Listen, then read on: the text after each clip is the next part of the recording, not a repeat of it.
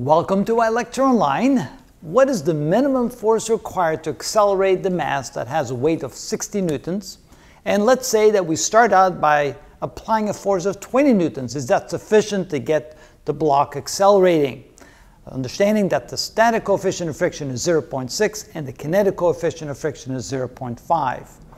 If we assume that 20 newtons is not sufficient, you're going to need a larger force. We need to find that larger force, what's the minimum force required to accelerate the block. And then once you overcome the static friction, then of course you have to deal with kinetic friction. And then the question is, without the minimum force to get it started, what will be the acceleration afterwards for that minimum force applied?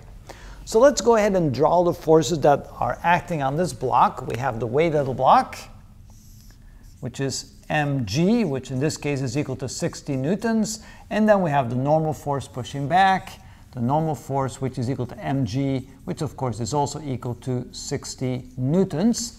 And then we have the friction force. Now without friction force, the block will be accelerated to the right. So that means that the friction force will act to the left.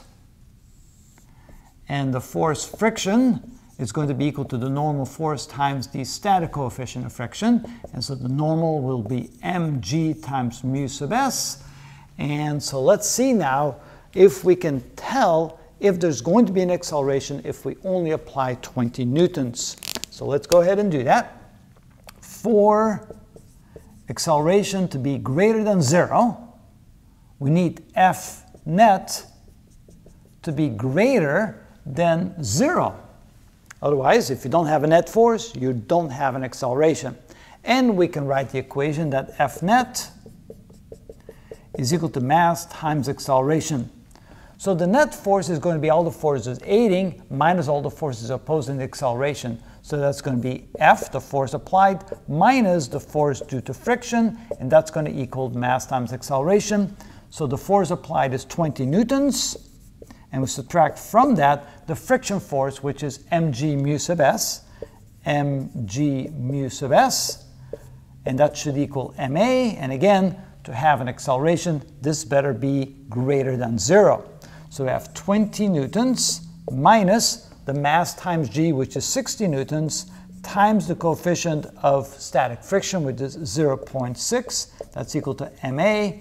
And notice that if I multiply that together, I can see that I get 20 newtons minus 36 newtons is equal to ma. Now, of course, I'm going to put 36 newtons in little quotation marks because, again, friction force is simply a reactionary force which can never exceed the force that causes in the first place. So this friction force is caused by the force being applied to it. So in other words, 36 newtons is really not the result. You're going to get 20 newtons minus 20 newtons because the friction force will only equal the force that is applied to the block until the force that's applied to the block becomes greater than the maximum friction force, which is 36 newtons, and then there will be an acceleration. So therefore, there will be zero acceleration when 20 newtons is applied so now we actually have the answer to our second question. What is the minimum force required to overcome the force of friction? And since the maximum force of friction is 36 newtons, the minimum force to apply would be 36 newtons plus a tiny little bit to get it going. So we can say that F min required is therefore equal to the force friction max. So basically what we had here, what this was the maximum friction force.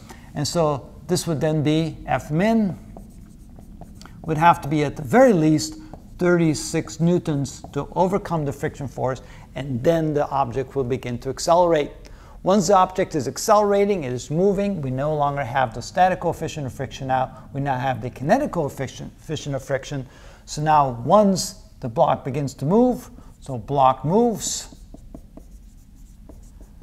so now we realize that we have mu sub k instead of mu sub s, and now we can say that F net is equal to the mass times acceleration. The net force now will be the 36 newtons applied minus the force friction due to the kinetic friction, and that equals mass times acceleration. So 36 newtons minus the normal force, which is mg times mu sub k, mg times mu sub k, which is equal to ma. And so we have 36 newtons minus mg, which is equal to 60 newtons, times mu sub k, which is 0.5, which is equal to the mass times acceleration. And that's 30 newtons, so 36 newtons minus 30 newtons is equal to ma, which means you now have a net force of 6 newtons to accelerate that. So what is the acceleration now? Realizing that we have a net force of 6 newtons, so we can say that 6 newtons is equal to m times acceleration, but instead of m, we can say that the weight is equal to mg, which means that m is equal to the weight divided by g. So instead of writing m, we're going to write 6 newtons is equal to the weight, that's 60 newtons, divided by g times a. And so it means that a is equal to g times 6 newtons divided by 60 newtons, and therefore a is equal to 0.1 g, or a is equal to 0.98 meters per second square. And let's put a line there so we don't get confused. So here what we've done is we first established that in order to have an acceleration, your net force must be greater than the maximum force that the friction force can be when you have static coefficient of friction, which was 36 newtons. So therefore, since the applied force is less, you're not going to get an acceleration. Once you have sufficient amount of force, 36 newtons, to overcome the friction force, 36 newtons plus a tiny little bit, then the object begins to accelerate. So then we realize that once the object accelerates, the net force is going to be the force applied, 36 newtons, minus the force due to friction when we have kinetic coefficient of friction, which is 30 newtons, so we have a net force of 6 newtons.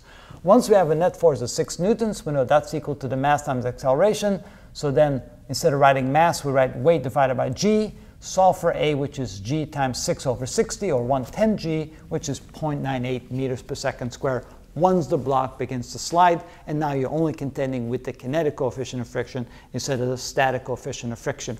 Again, another way of looking at friction, forces, acceleration, and Newton's laws to get us a better understanding. And that's how it's done.